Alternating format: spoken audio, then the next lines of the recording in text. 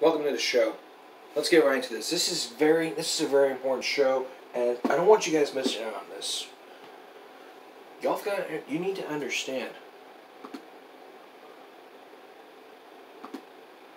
Going to school is very important, and if you don't go to school, you're missing. If you don't go to school, it's then, uh, then uh, you're violent. you're you're violating the law. Your parents are neglect,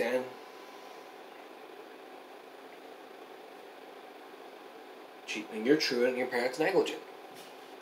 That's the rule here. But we're not here to talk about that. What we're here to talk about is this. If you fail your classes during the school year, one or two, one, two or more classes, you will be required to go to summer school. What is that?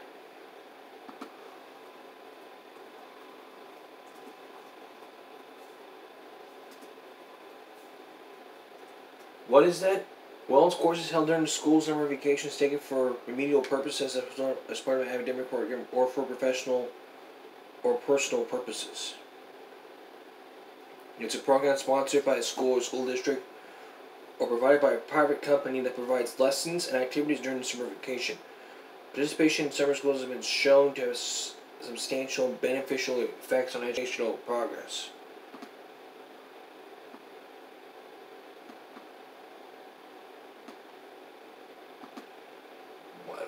But what we're here, this is what we're here to talk about. We're here to talk about summer school and how very important it is for your for you to go to summer school. No excuses.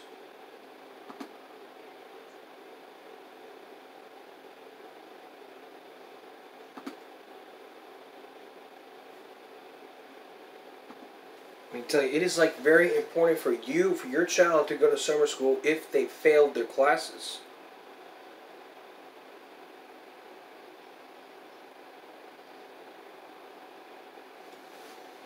Like, I went to summer school like two times during my years in school. Ninth, sixth grade. No, it was sixth grade. It was fifth grade, and during my junior year. Junior year was because I failed my U.S. history test, and. Uh, Fifth grade was just because of other issues. But during this pandemic, there are changes to some school in the way for CCS to the school districts.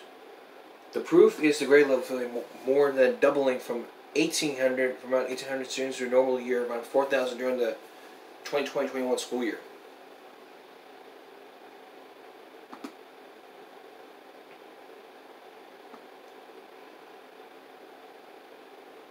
Some students were successful, but other students struggling and getting here, making sure they were engaged every single day. That's when uh, the CCISD Title One director said.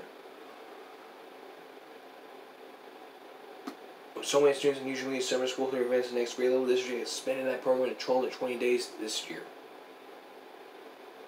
It means more hours in the classroom, and district leaders hope parents will make sure their children are there every day. Strong attendance is the key to academic success if you start strong and continue strong, you're going to have the tendency to finish strong. That margin is much smaller than CCISD, and while they didn't provide exact figures, district leaders say they aren't making any changes to the digital summer school program.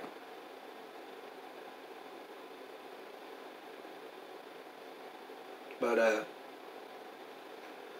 other school districts like uh, like uh, Gregory Portland they're extending normal 11 day to at least 13 days, with additional days possible depending on how much retesting the student needs to do.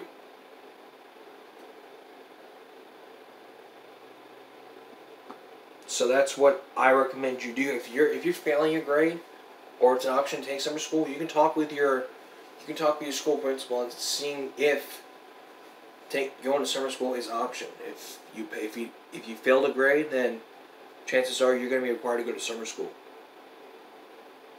That's the same thing with tests. If you failed your test, you're going to have to retake it by going to summer school. There, you're going to have to sit there during the class like every time you need to sit sit and do, do your math and English. And if you and if you pass, you pass the test, you're your like English or math test, then uh, you can move on to the next grade. If you don't, you're gonna have to repeat the grade that you repeated.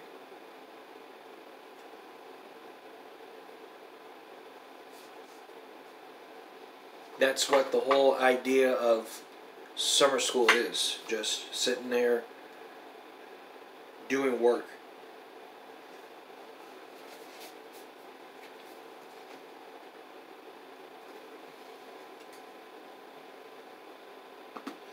But the question is, what happens if you don't show up to summer school? If you skip summer school,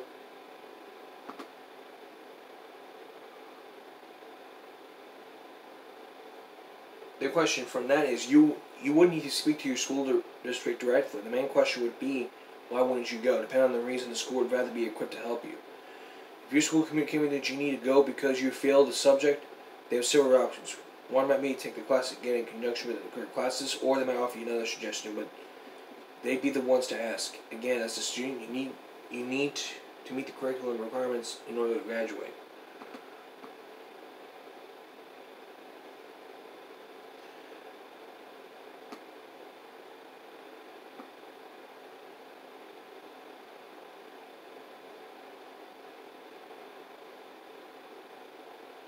Can't if you don't show nothing. Summer school is an advantage to your credits. I mean, just because I'm saying it won't do anything to you doesn't mean that doesn't mean that you don't have to go. Don't skip summer school.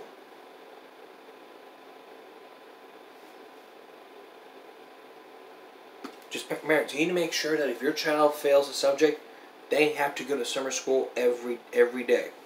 If not, if they don't go to summer school, it's their choice.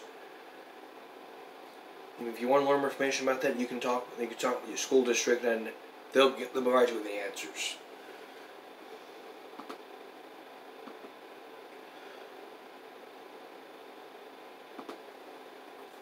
Because let's face it, I'm not going to be sitting here looking at all these people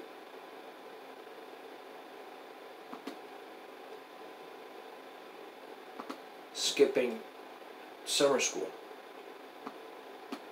So it's unacceptable. You cannot be skipping your summer school, period. No excuses. No freaking excuse.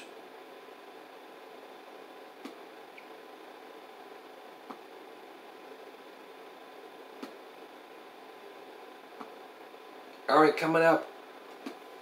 Coming up, we're going to be giving you the very latest on the uh, the drown of uh, Andrew Bass, and then also what we're going to do is we're also going to tell you about the flags.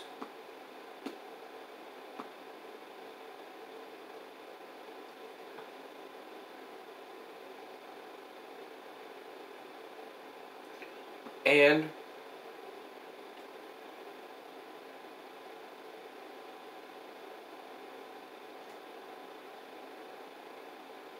and also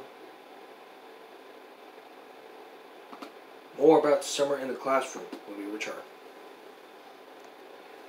Before we continue with the next topic, if you live in the CCSD area, there are around 4,000 K students taking summer school this year. Alright. Now to the latest on the uh, on Andrew Bass.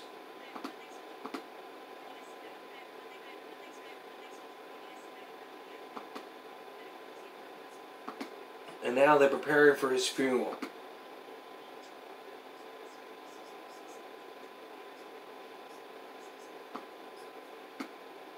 But the man, here's what we know so far. The medical examiner's office confirmed that the body of the swimmer was found yesterday Andrew Bass. It was the brother, but when later when they pulled out to find him, it was Andrew Bass. It was all thanks to the rescue, that person who rescued him.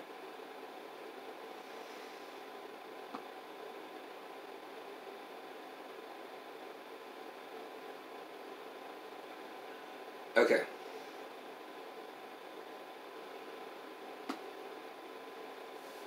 Now, if you went to the Cal Pepper Rally yesterday or the day before, you may have noticed there was a skit involved from Calallen.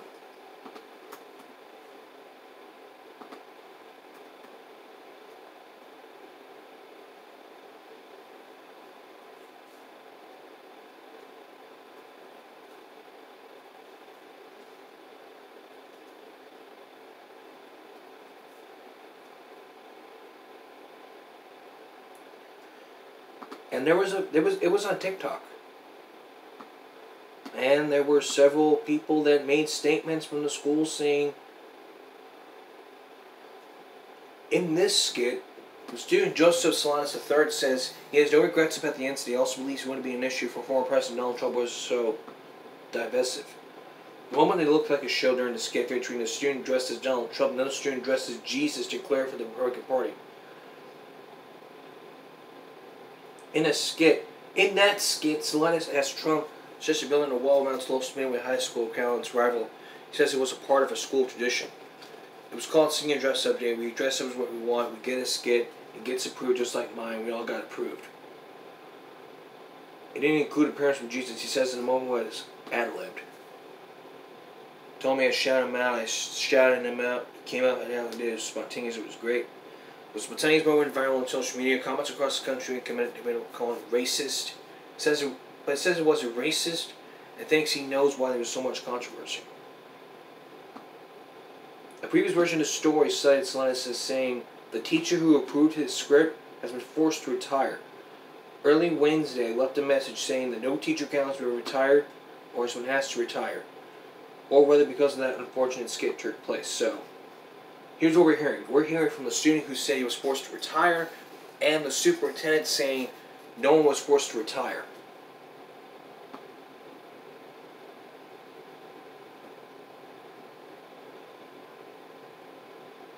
Who was the teacher that approved of the script? But still, we don't know. This is under investigation. But next year, if you're going to make a skit for this pep rally, you need to make sure that it is school school appropriate. Really, school appropriate. Just being, this isn't freedom of speech. This isn't a First Amendment. There are, and if this was taken before the Supreme Court, they would side with the schools saying they have a limit on free speech. That's my take on this.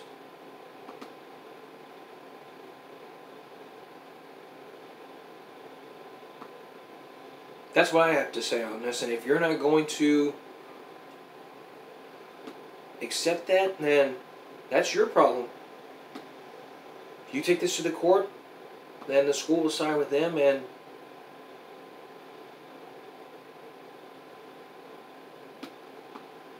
and worse things can happen. Alright, still ahead. What you need to know about the flags before you head off to the beach. That's in a moment. And a man gets arrested for breaking for breaking and entering into the school. All that's next.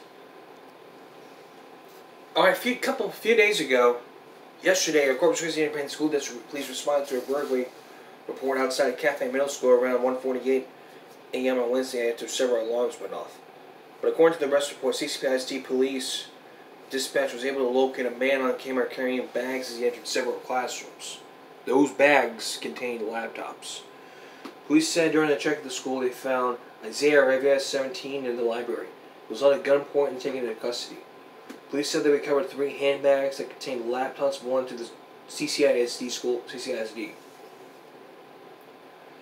He appeared before Magistrate Judge Melissa Madrigal Thursday morning. He's charged with burglary for building. What does that mean? Burglary for building. It should have been breaking and entering. If the building is in habitation and its conviction for burglary is punished by felony of the second degree with the maximum possible fine under Texas state law of up to $10,000 and prison time of up to two years unless the enhancement below applies. That's the law. Penal Code oh 30.30.02. That's from the Texas Penal Code.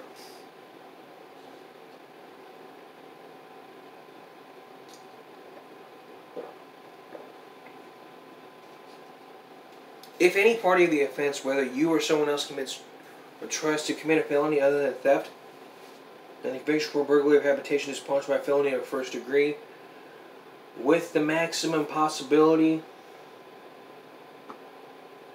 Maximum possible fine and tax still at ten thousand dollars, and up to life in prison.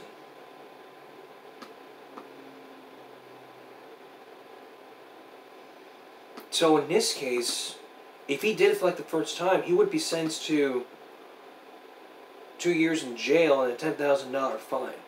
That's the first degree. Second degree, twenty years in prison. Third time, you would be char- You would be. You would be. You would be alive in prison since this was his first time. My guessing is he would spend two years in jail.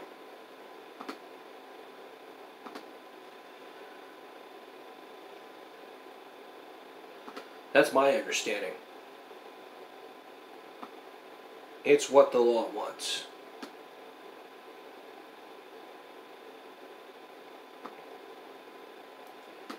Hurricane season is coming up in a few days, and it's time for you guys to be prepared.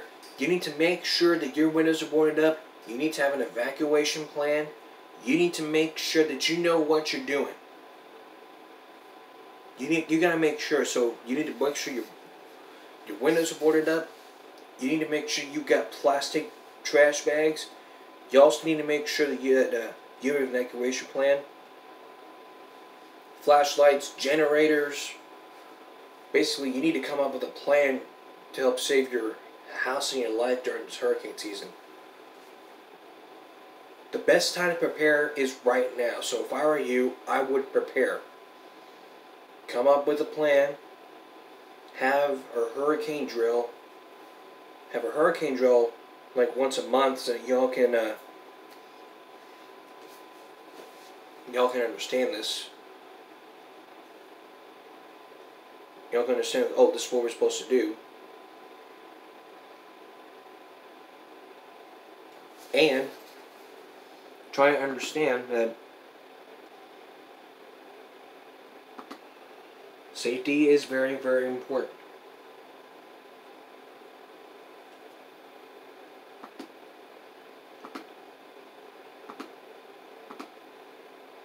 All right, now the Memorial Day coming up. Time for the some time for our safety break. This time it's all about the click it or ticket. Seatbelt safety. It is required by Texas law to be wearing your seatbelts. And if you don't wear your seatbelt,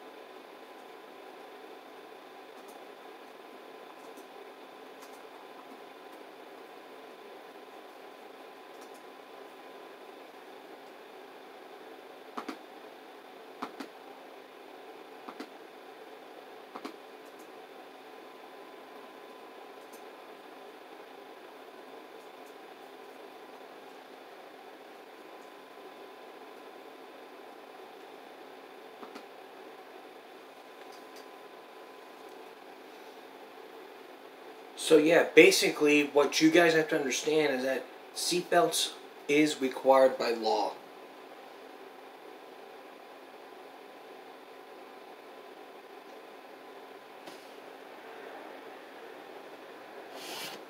So yeah, basically it's the law. If you don't wear your seatbelt,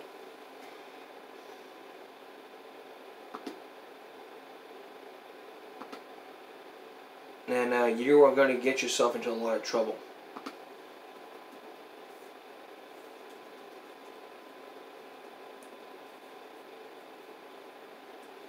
And in the state of Texas, the law requires everyone in a vehicle to buckle up or face fines and court costs of two hundred twenty dollars. Mean, not twenty, two hundred dollars. Children younger than eight years must be must be in a child safety supervisor's seat unless they are taller than four feet nine inches. If they aren't properly restrained, the driver faces a fine up to two hundred fifty dollars plus plus court costs.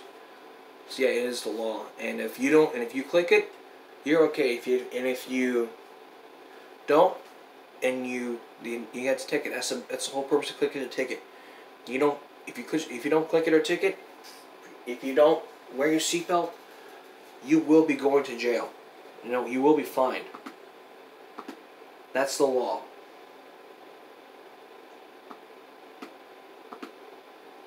That's the law. That's the law.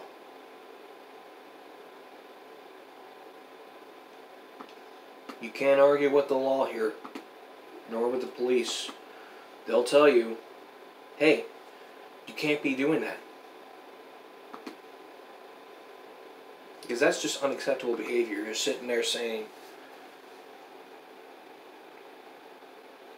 hey, this is what I'm going to do. I'm not going to wear my seatbelt.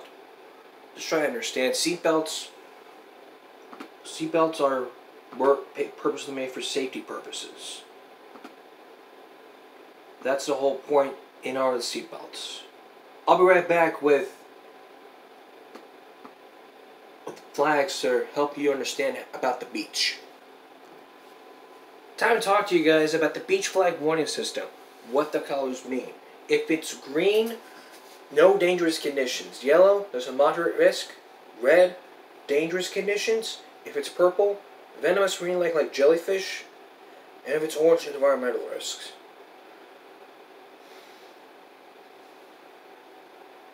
And it would help learn help you learn about riptides before you start heading out to the water. If it's if it's on the on these four, you need to, the water has to be like above, at, at your waist. If you go go far above the waist, like to the to your chest here, you're you need to step back a bit.